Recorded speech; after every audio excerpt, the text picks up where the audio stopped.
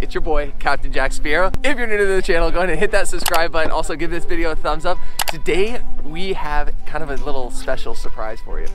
We are diving with AVP Pro, Ryan Doherty, over in the corner his girlfriend Aubrey. These guys came here all the way from Hermosa Beach, California. Ryan hit me up on Instagram and we just kind of talked back and forth a little bit, said he was gonna come over and do a trip and I offered to take him out on the boat. I think they brought the cold weather because it is pretty chilly. We're gonna have to layer up our wetsuits and try to stay warm. They said the cold weather hasn't even, they said this is great. They're used to dive in that uh, 58 degree water and this is 78 maybe? Yeah, so you guys might be boi boiling in your uh, five mils. Everybody knows Spencer, homeless man. He lives on this boat. We got my sister, my dad running a point on the boat, and we're gonna do a little bit of fishing, mostly diving, and hopefully we get into something good. It's a little cloudy today. We're gonna dive between 60 and, well, 60 plus feet. We're going for pelagics, maybe some grouper, snapper, but we'll see what's, uh, see what's around once we get down below. So I get in, start chumming, and I get a nice little visit right off the bat. That's about a six foot lemon shark. He doesn't really seem to be leaving us alone, but he's not too bad as long as you keep a good eye on him. And I can't stop chumming because all these speedos that showed up are eating the chum and they work as an excellent fish attractant device. There's nothing better than having a live flasher all around you so big wahoo and other pelagics come in. So we had no luck on the reef, and when something's not really working out, don't be afraid to change. So we decided to go in a little bit of deeper water. I'm making a drop on a wreck. This is my first drop on the wreck, and I see out in the distance some big amberjacks. I kind of line up on one of them, but he's a little bit too big. I want a perfect size one, maybe a 30 pounder for the smoker, and I picked him out. Unfortunately, I didn't stone him, but I was still able to get a really good holding shot, which enabled me to horse him up to the surface. I know there were sharks around as long as I can maintain control of the fish, get him to the surface quickly. I don't really have to worry about sharks too much, especially when we have a couple divers in the water to keep an eye out on one another.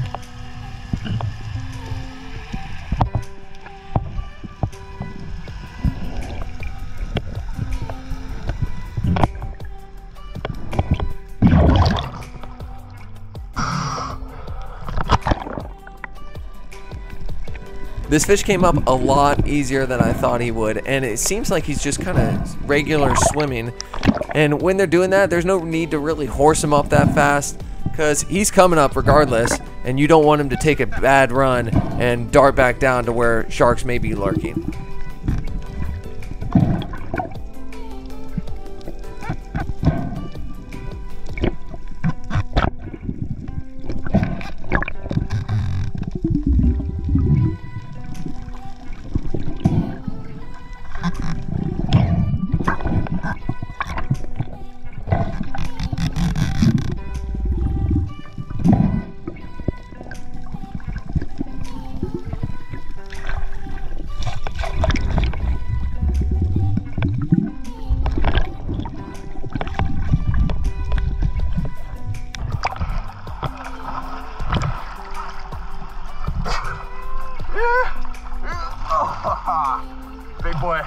Donkey.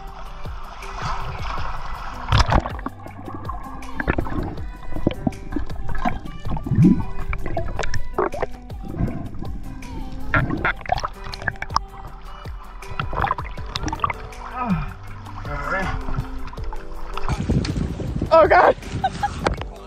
Alright. Woo! Need a big, big boost. I shot the small one. Just cause. Okay, right? Dude. I shot yeah. There was there was one that was double its size. Well there were like three that were double its size, but I opted out. Shortly after putting that amberjack in the boat, about a 50 pound wahoo came cruising in. He's just on the other side of Spencer there. He came in on the flasher. Spencer takes his shot.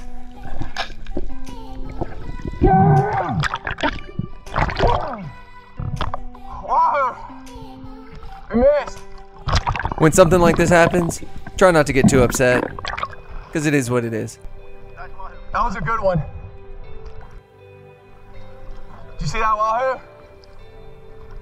There's a beautiful wahoo. He shot and missed, but it was far. Nothing more else to do but to just get back to chumming. I noticed Spencer shoots off down at about 80 feet.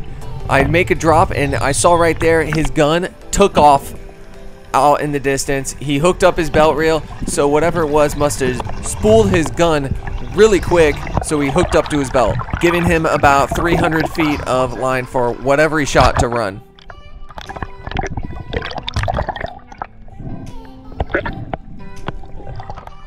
Yo, what is it? Yeah. When you get a good fish like this, it's really important to communicate with the boat, which you see me do right here. Yeah, he keeps keeps swimming with it. Hey, hey, hey, grab the flashers and follow us. These kingfish are a part of the mackerel family, and their skin is really tough. Just like wahoo, just like ceros, they have a tendency to rip out shafts all the time. The best advice I would say is let the fish run, and that's exactly what Spencer does. Some people might not like the fact that we use reels as opposed to float lines with buoys. The reason is because the conditions that we usually dive, the current is ripping, we usually do deep dives, and that creates a lot of drag on the float line. So we usually stick with reels because it's what we're used to and we are prepared to handle that situation. If we shoot a big fish, we're prepared and know how to land it. If you're an unexperienced diver, I highly suggest do not use a belt reel. Just go ahead and stick to float lines and buoy. So without even saying anything, Spencer already knew that he was in charge of line management detail. I was in charge of pulling the fish in as well as I could without letting anything rip out, and that freed up Audrey to do the backup shot. Once you get that backup shot on the fish, it's pretty much done, and the fish is yours.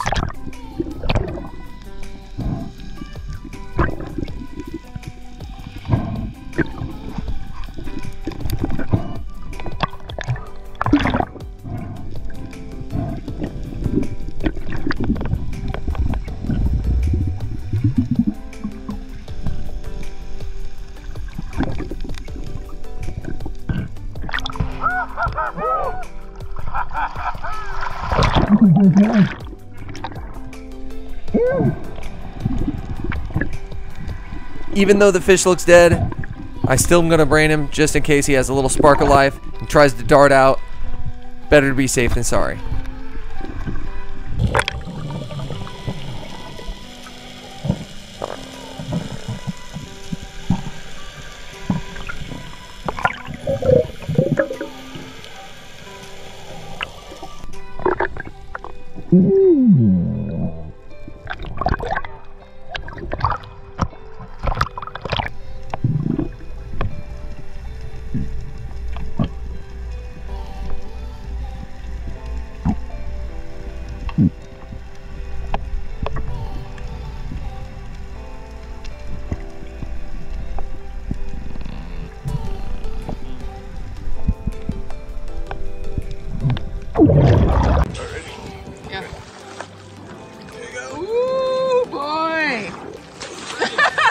Drowned you.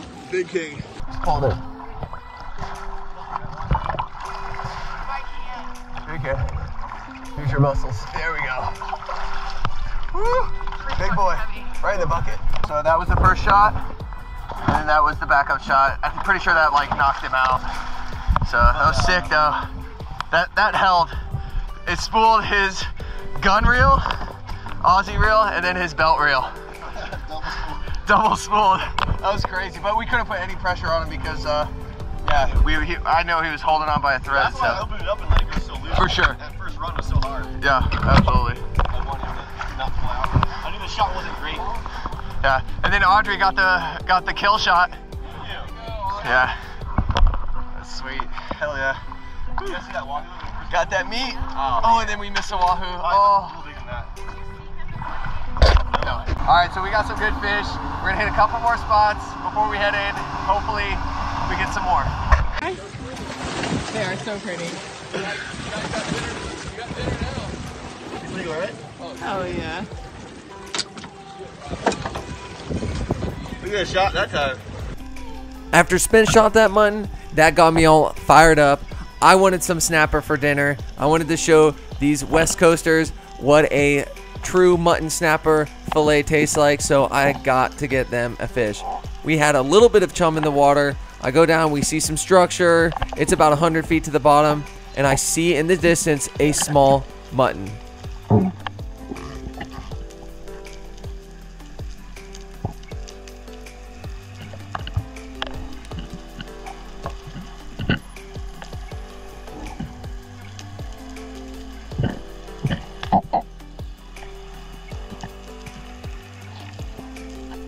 I see out in the distance there a small mutton. And with that small mutton, a bigger mutton came in, kind of fighting over it for this chum. That one from the left kind of came in and scared that little one away.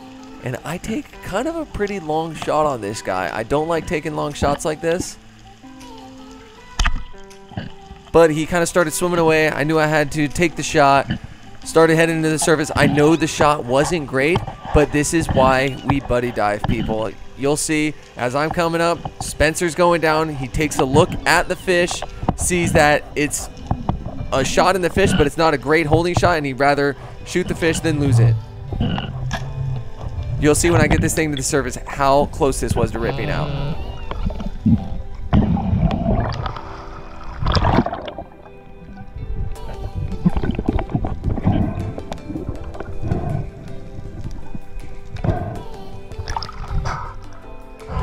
Shot was hanging on by a thread. Really close.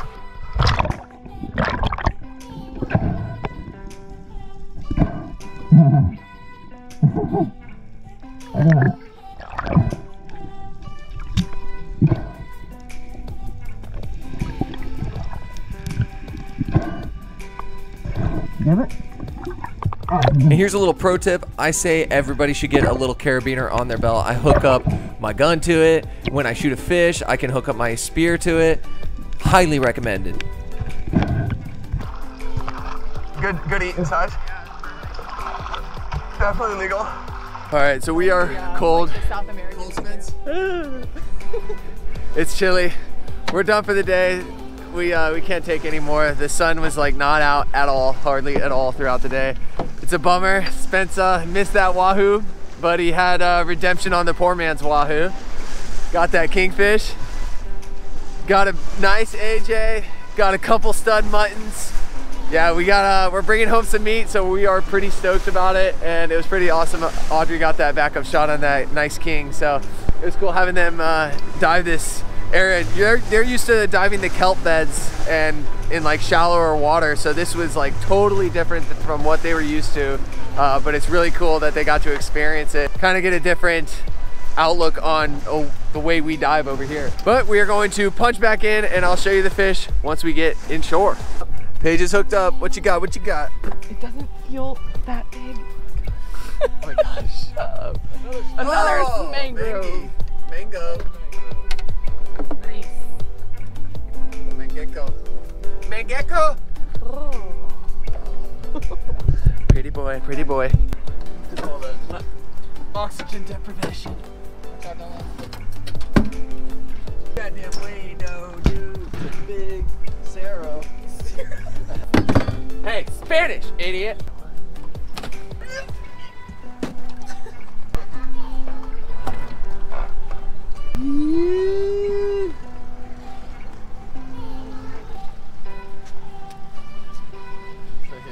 He. That's awesome. Hell yeah. Bombs away. Torpedo. Fillet and release. Fill it. It's gonna go out and regrow.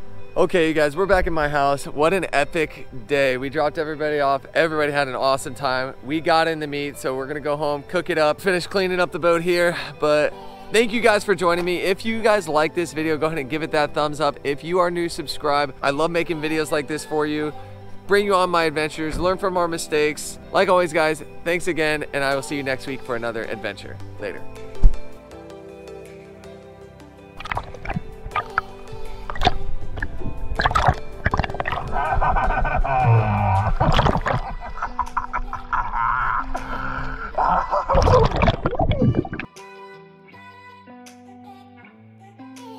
They're definitely, they're definitely not hungry. What is, what is, what's going on? Oh, this? It's antique.